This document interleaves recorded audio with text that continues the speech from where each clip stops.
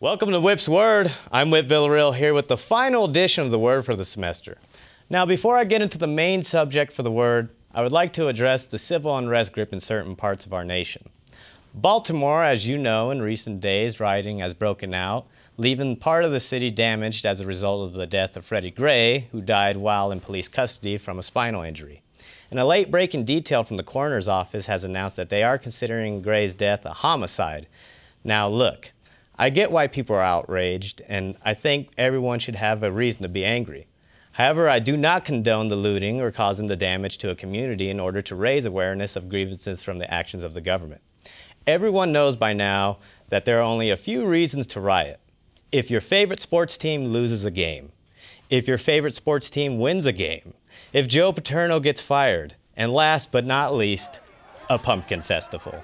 Look, all I'm going to say is this. If you're going to protest, do it with style like this guy who protested in front of a line of police in full riot gear in Baltimore.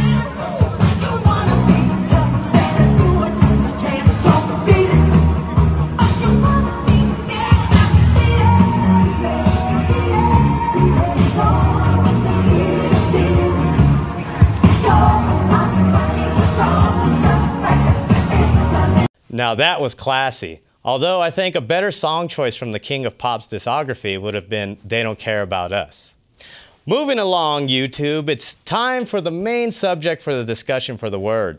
The 2016 presidential election. Yeah, let's get this party started with Congressional Deathmatch 2016. So, news outlets, assemble! Tell me who's running for the head of state position. Texas Senator uh, Ted Cruz announcing on Twitter overnight that he's now running for president becoming the first major candidate to officially enter the race. Florida Senator Marco Rubio will formally launch his presidential campaign momentarily. Let's talk about Rand Paul. Time magazine last year, and we were having this conversation many times, calling him the most interesting man in politics. All right, come on, give me more. Presidential candidates are like Pringles. Once you pop, you can't stop. Hillary Clinton has just announced that, surprise, she's running for president. She's the clear frontrunner, the candidate to beat the one that's been waiting a long time for this. Vermont Senator Bernie Sanders announcing today that he will run for the Democratic nomination. All right, and there it is, the candidates who have officially announced their campaigns. So with that in mind, let's count down the candidates according to their current standings in the polls. Let's start from the bottom. Coming in and dead last is Ted Cruz. Yes, Cruz. He's a Canadian born Hispanic who supported the initiative to construct the Keystone Pipeline. And similar to the concept of the Keystone Pipeline, Cruz oozed down to Texas from Canada, where he eventually became a senator for the Lone Star State. Cruz is also an evangelical Texan conservative with limited intellect, and when has that ever led us astray?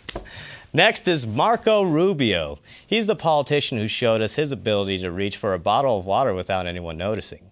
And you might be thinking, Marco Rubio? Isn't that the kid that Janet Reno deported back to Cuba way back when? No, he's the junior senator from Florida who wants to bring in some new ways of thinking, except for this. You are casting yourself as a candidate of a new generation, but there is an issue where you are very out of step with younger voters, even younger Republican voters, according to a Pew poll. 61% of Republican voters uh, under the age of 30, I believe, support same sex marriage on that issue, same-sex marriage, Senator, you're the candidate of yesterday. Well, a couple points. Number one, the the that is an issue that will largely be determined at the state levels. The second point I would make is I don't I think there are still a significant number of Americans that believe that the definition of marriage should be that of one man and one woman as it has been for for thousands of years. There are a lot of and that continues. But they're, but they're a minority and well, uh, it, it, I mean, there's a large minority. In essence, there are still parts mm-hmm. of this country all right, quit being a nomination hog, Rubio. There are a lot of people who deserve to lose the presidential election, like this guy. So I don't think uh, taxing the wealthy even more than they already are taxed is going to fix income inequality. It's a little more complicated. Smoking pot.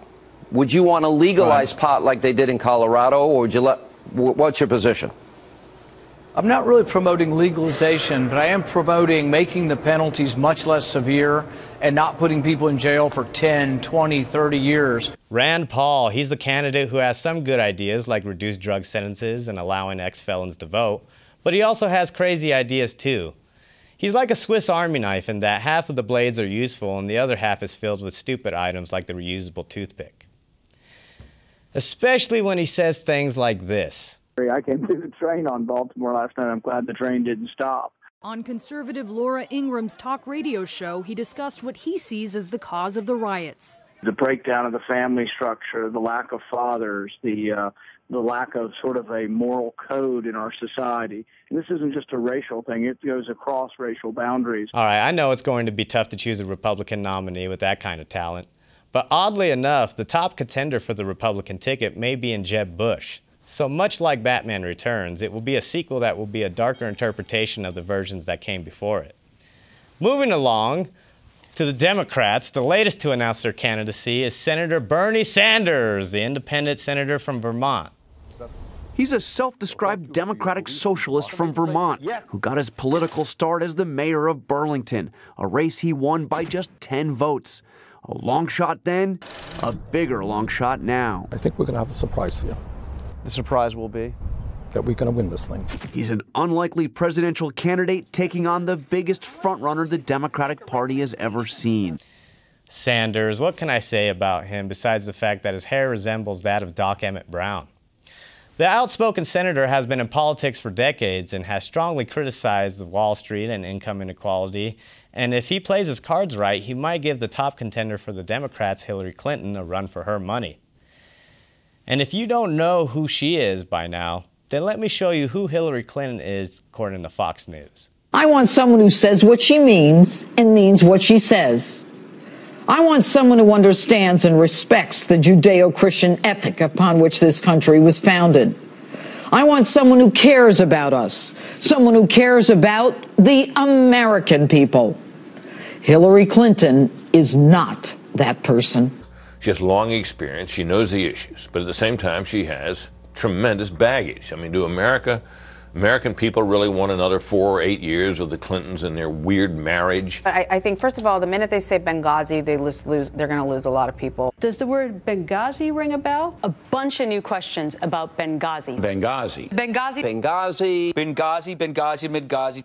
Okay, look, Fox, Benghazi isn't Beetlejuice. You just don't say it three times and expect to summon it in the form of the truth, as much as I know that you would love to believe that that could happen.